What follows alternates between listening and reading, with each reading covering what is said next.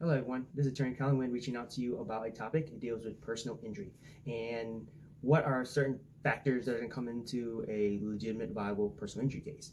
Uh, I'm kind of kind of throw out some things that I would be looking for if I was to take on a personal injury case that's viable and that's going to be beneficial to me and my client. Um, I think the first question I'll ask is, what happened? What, what was the injury? Like, was it a broken arm, stuff like that, or dislocated shoulder? Or even as bad as you know major car accident where you fracture your you know ribs or have back injuries, stuff like that. All those things are considered. Then the next question is, how was anyone at fault, and who can we sue?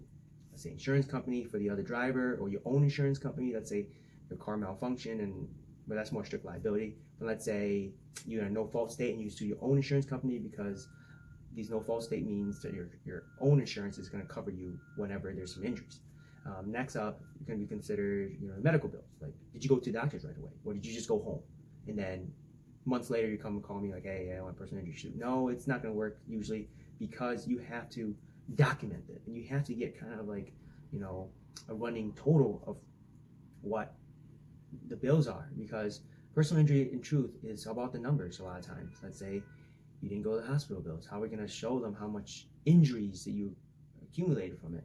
Because oftentimes, unfortunately, no one can make you unhurt again, but people can, you know, pay you for your pain and suffering, lost wages, um, various things like uh, enjoyment of life, lost enjoyment of life, if it's somewhat permanent, permanency, and all that stuff. All those things are going to be part of the damages that you're trying to get back from.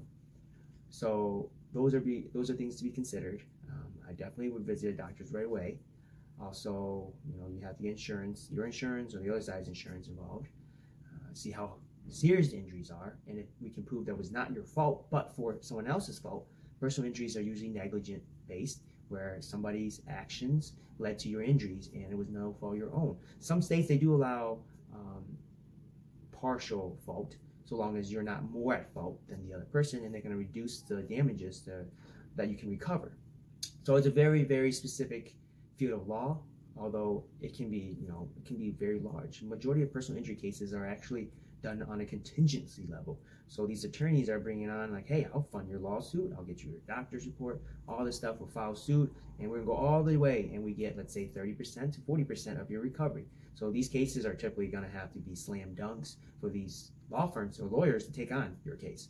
As with myself as well, I can't take on losers because you put so much money out and you do it on a contingency, then you're gonna lose out on all that and you're gonna lose. So usually it has to be has to fit this you know structure. And there's a few personal injuries that are kind of vague, and I've won them before.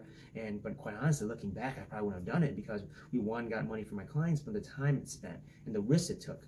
Early on, you know, I like to take risks, and I took on cases that a lot of people even turned down because I'm I think I can win it. And oftentimes I actually did. It's just these other people, it's not that they can't win it, it's more so is it worth their time to win it? They, while they can go other cases where they know for a fact they're going to win and they're going to run up this bill, they're going to have doc- them go to the doctors, make sure, and then all this time that my client is on the couch not working, that's lost wages, pain and suffering. You're going to usually do a try to do a calculation of like what's considered pain suffering. And if it goes to trial, you know, you have a jury to kind of get in front of and like, how much would it cost you to have, you know, a broken back for six months? How much would I pay? How much would you be willing to get paid to be in that situation. So it's, it's very subjective and it's all argument based. But personal injuries cases can be very lucrative. You know, let's say especially auto accidents and um, personal injuries are not wrongful death, but they are similar. Wrongful death is it leads to a person passing away. Personal injury is like I'm injured from this. It can be temporarily, it can be permanent, and it can be even like debilitating. So those things are all considered in regards to how much you can recover. But even if you just get in a basic car accident, and you have medical bills and then you're out for a few weeks or something, a broken leg. Those things are, you know, personal injuries that are setting you back and you want to recover monetary damages, which means money because obviously no one can unhurt you, but they can maybe pay you for your the pain that you suffered and the time that you lost from work. So those are all things that needs to be considered when you are talking about personal injury case and when you, when you have um, doctors notes and you know checkups are very important. So if you become in that situation, I'd recommend reaching out to an attorney right away so he can help guide you in regards to how and what to do and how to document your case. Hello YouTube, I hope you enjoyed this content that we provide today. And if so, please slam the like button below. And don't forget to subscribe to our channel so you get notification of future content.